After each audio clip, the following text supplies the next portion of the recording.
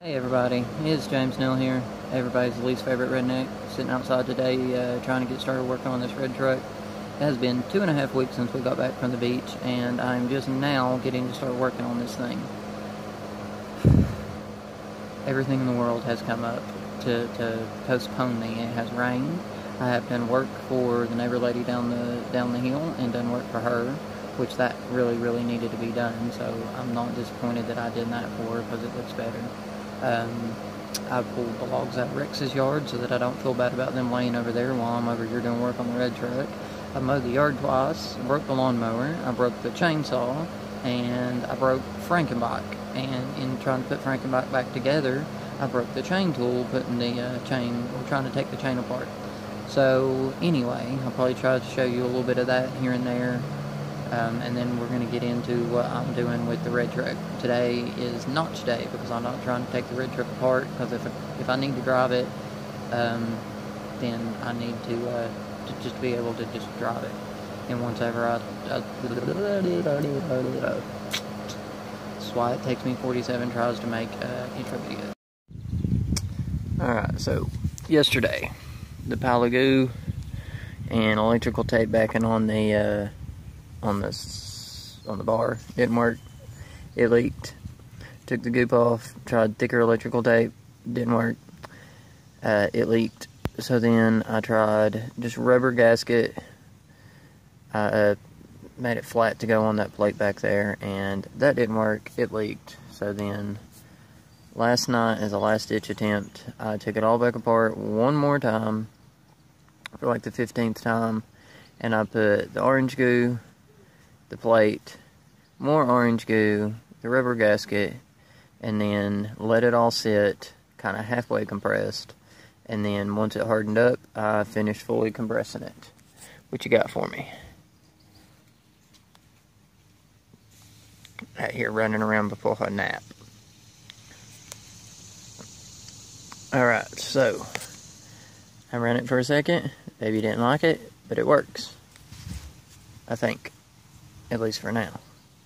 So we'll give this a shot. We're gonna go play with the baby for a few minutes. What are you doing, monster?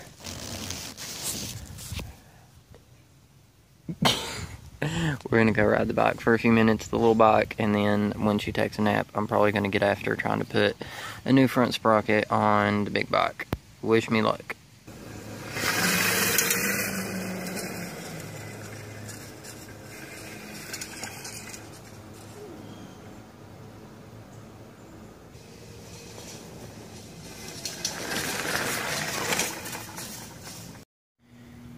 Alright, so played with the saw. It seems to work for now. Took this thing off. I think there's a problem right there. Okay.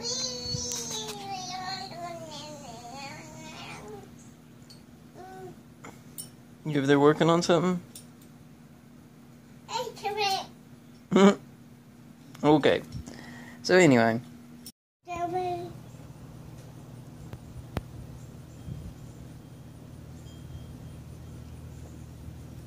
Okay, so we have got to put back together.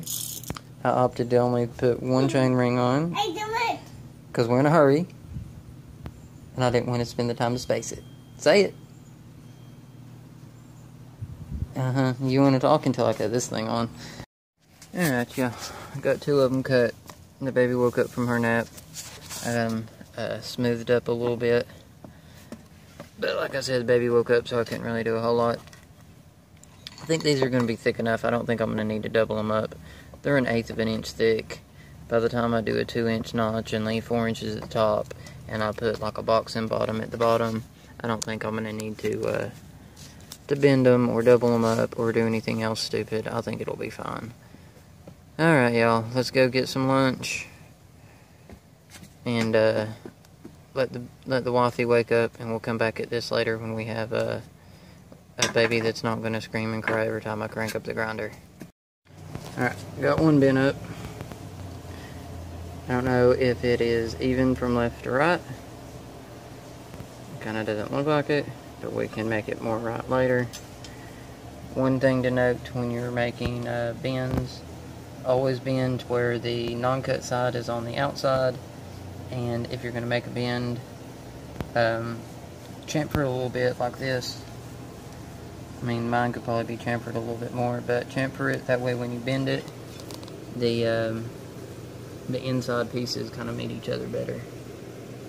Otherwise it pinches here and will stretch the outside and then you'll break it. If you take this and bend it the opposite way and make that the outside and you make that the inside this tends to rip and break and you'll mess your metal up. You'll just break your piece I recommend bending to the bending to the uh, uncut side and chamfering it. Then you can come back with a welder and weld that up and make it strong again. Let's see if we can make this one match that one. When you cut don't cut all the way through. Give it a good be around my head. Give it a good zizz get it good and uh, get it good and hot I guess. See it when you get it thin it'll turn a little color so you can tell. I went ahead and went all the way through right there. Now what I'm going to use is a sawzall and finish it up. It's been about maybe a minute and a half with the grinder on that. Maybe a minute and a half. And that's a minute and a half with the sawzall. So it's about four minutes worth of work including having to stand up and shoot the video. You can see where I went most of the way through got to the corner and then I just used the sawzall to finish it up. Easy peasy. So now first time I'm setting this in here. Alright. It is close. So I'll cut a little bit of that slag off from from it just not fitting right. That's close. I mean, I'll take that little bit of metal right there off and that little bit of metal right there off and it'll fit. So, baby woke up from her nap. I did end up finishing this little bit of grinding. I give her her uh, lunch outside in the in the high chair. But anyway, did these. I'm in for about halfway through with them. Maybe a little, wee bit more. We'll get them bent up built it along the bottom and we'll get it all welded up and hopefully these notches will be ready to go in the truck. Yeah yeah. One thing that also happened while the baby was eating her lunch was Uncle Mike might come and got the 7 and 9 so now we have an open parking spot so that we can have more activity room under the garage under the carport. So that's good. We stretch out a little bit when we're lowering this truck and not have to be so cramped up over here in this corner.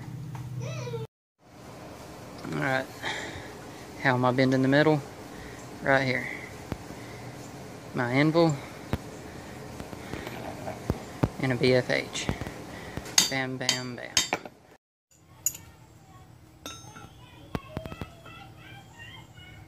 Can you hear the baby in there laying down? She's in there pitching a fit. She's not crying, She's in there yelling. Jesse's in there trying to put her down back to sleep. She ain't having it. Alright, so my line is close to the edge. You notice I didn't even try to tighten these down. I'm just basically holding them on. That way, whenever I hit it, they don't jar loose because they're going to jar loose if you just try to tighten them down. So I'm just holding them. They're tight enough.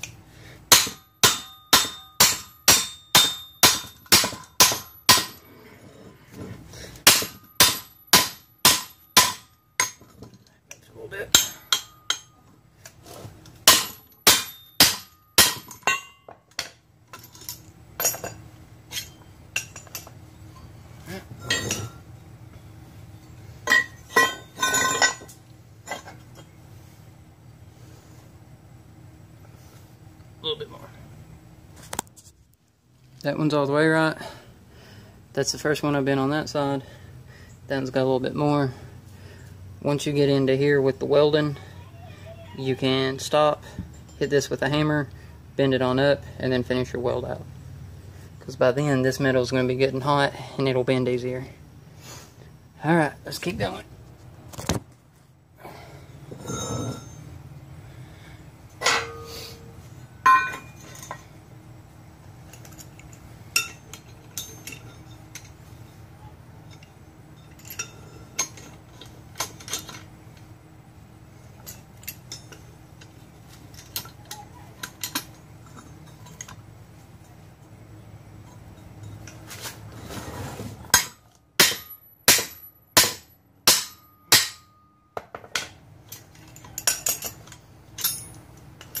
Overbend it, lay it on there, and hit that ridge, and you'll knock the, some of the angle back out of it. Oop, that's backwards.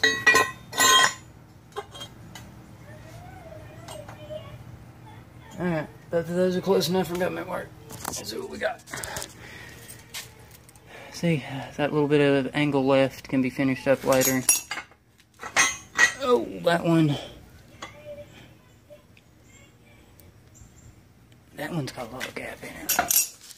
It was a lot closer. I had it picked up here on the side. It's actually gonna, there it is. See, now it fits down on there better. Alright, on the third day, let there be weld. I've got it all cleaned up. I don't know that it's lined up, but I've got it cleaned up. And it's ready to weld. Here are my tools. I got me a chip hammer, a wire brush, a clamp, my helmet, and some gloves. That's it. Oh, yeah, and the welder. A little crappy Miller Cricket. 20% duty, 70 amps. So, I'm going to get in here. I'm going to do all the top stuff first. And then squeeze that gap together with the clamp. And then hopefully I'll be able to show you a final result here in a few minutes. And I am not the best welder in the world, but I can get her done. Now, I tacked the corners and then I went in for the kill on my first big weld. And this is my first weld I've done in a long time. So here's what here, here's what I do. I take it, and as soon as I'm done, I clean it off. So I can see if I made any real bad mistakes.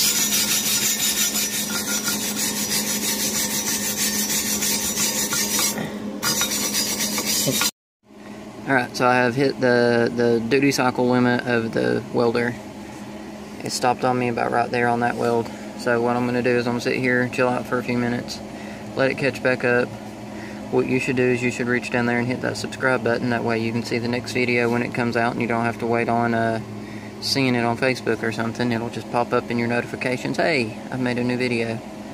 Hit that subscribe button, hit that like button. Something happens, you end up not liking me that much. You can always hit the unsubscribe button later, right? I'm sure any salesman would like that sales pitch right there. Oh, you can just throw it away later if you don't like it. And it don't cost anything. Just hit the subscribe button. It'll make me feel better. Alright, let's do some more welding. Got them all, uh, I zizzed them down with the, uh, the flap disc grinder. Uh, hit them with a little bit of brake clean. And now I have them sitting out here in my painting area on top of this old grill. And I'm going to spray paint them, call them a day. Then we're going to put Frank and Frankenbike back together. And I think me and the baby's going to go for a ride wherever she went to. Hey there! Notches painted. U-bolts painted. Bottom plate, shock extenders, and the flip bracket itself. All painted. I'll flip them over in a little while, paint the back sides. Let's go uh, put together Frankenbike. Say hey there. She's ready to ride. Alright, we got the new chain on. It is a Zonky. We have got a 24 tooth front, which gives us an 11.44 to 1 gear ratio, which is just a little bit on the faster side than the other one, which means we can't pull a hill as good, but should be able to go on a flat road faster. Still don't think we'll be able to shift with this stupid derailleur. It'll be alright. Here's the, uh, there's the old chain. Here's a piece of the new chain that I just took off. I like this one. This one seems like it's going to be a better chain than that Bible chain. And then here's the new chain tool that I got. It's a Atlan. Got it from Amazon, real cheap. Did the job real fast. This is the old one. You would have thought this would have been the heavy duty one. Maybe I just didn't use it right, but I broke both of the pins that are on these thingies. Broke both of them. Oh well. Let's go ride this thing. You ready, baby?